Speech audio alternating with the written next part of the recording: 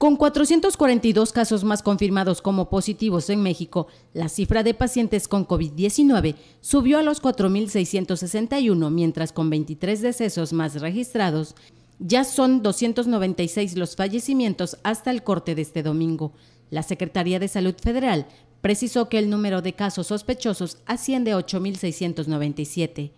El director de epidemiología, José Luis Alomia, expuso que la letalidad entre personas mayores de 60 años subió a 14%, mientras que el rango de entre los 25 y 59 años es de 4.9%, para dar un promedio nacional de 6.35% de letalidad. En la rueda de prensa diaria para dar a conocer el panorama del COVID-19 en el país, precisó que hoy de cada 10 personas diagnosticadas con una enfermedad respiratoria aguda, dos de ellas es por el nuevo coronavirus, aunque puede cambiar el porcentaje por cada entidad, pues en algunos había llegado ya a 3 de cada 10 personas, por lo cual ha comenzado a tener predominancia sobre otros padecimientos respiratorios, como lo es la influenza. A la fecha, los pacientes recuperados alcanzan los 1.843 casos que representan el 40% de los casos confirmados y en la medida que se incremente el número de personas recuperadas, se logrará una inmunidad de rebaño que proteja más adelante a otros grupos vulnerables.